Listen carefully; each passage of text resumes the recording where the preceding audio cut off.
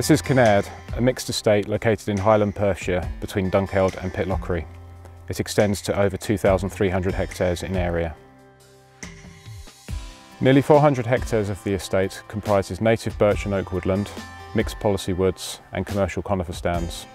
Egger Forestry has provided management of these since late 2016.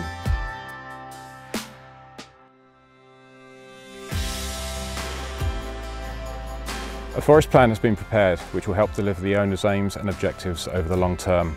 These include maximising financial return and maintaining productivity through a phased programme of felling and restocking conifers and the conservation and enhancement of native woodlands using a range of sustainable management practices.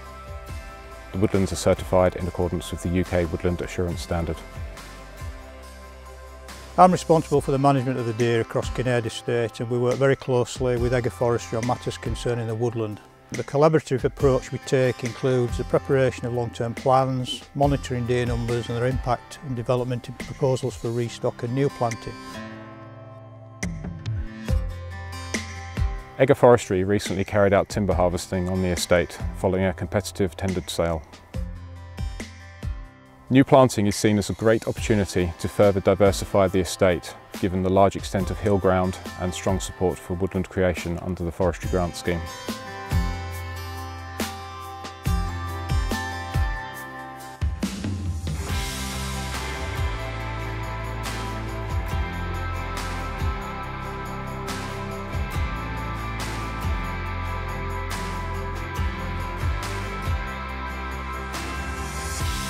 We are providing both cultivation and fencing services. We have a strong working relationship with Egger Forestry. Egger has given Laurent Bienfait Woodland Services the opportunity to work on some interesting projects. In this case, woodland creation, which suit our expertise.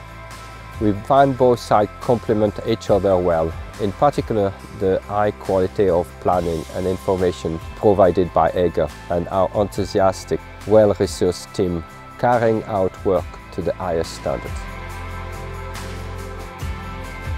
Egger Forestry has gained approval for this 144 hectare commercial conifer woodland after an extensive process of site assessment, liaison with Forestry Commission Scotland and consultation with stakeholders. The predominant tree species is Sitka spruce, which will become a valuable timber resource.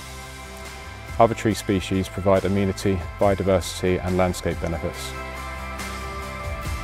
Further woodland creation is being considered by the estate to bring other areas into productive use and increase the value of the land while supplementing sporting activities.